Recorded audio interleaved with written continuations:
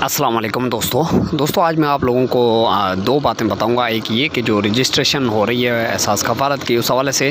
دوسرا یہ بتاؤں گا کہ پرانی جو سم ہے پرانے بینیفیشریز ہے، جو بارہ ہزار، دو ہزار دس سے لے رہے، کیا اس کی سم بھی بند ہو جائے گی؟ یا پھر اس کی بھی سم جو ہے ساتھ چلتی رہے گی۔ تو دو یہ باتیں آپ کو کلیئر بتاؤں گا، اس سے پہلے آپ سے چھوٹی سی گزارش کروں گا۔ برائے کرم تھر نیوز یوٹیوب چینل ضرور سبسکرائب کریں، ساتھ ہی بیل آئکن کو کلک کریں اور اس ویڈیو کو زیادہ سے زیادہ شیئر کریں تاکہ غریب لوگ جو ہے فائدہ اٹھا سکیں۔ جی ہاں دوستو سب سے پہلے ہم بات کلیئر کرتے ہیں کہ جو نیو رجسٹریشن ہو رہی ہے وہ کیسے ہو رہی ہے آن لائن ہو رہی ہے یا نہیں۔ تو آپ لوگوں کو میں کلیئر بتا لوں، کوئی بھی آن لائن رجسٹریشن نہیں ہو رہی ہے۔ اس وقت این ایس سی آر کی ٹیمیں جو ہے وہ ملک کے تمام شہروں میں تمام گاؤں میں جا کے سروے کر رہی ہے۔ کافی سارے جو اضلاع جو ہے وہ مکمل ہو چکے ہیں۔ باقی کچھ ضلع جو ڈسٹرک باقی رہتے ہیں تو ان میں جو ہے این ایس سی آر کی سروے جاری ہے۔ اگر این ایس سی آر کی سروے آپ کے پاس ہو چکی ہے تو آپ کو ایک رسید ملی ہوگی۔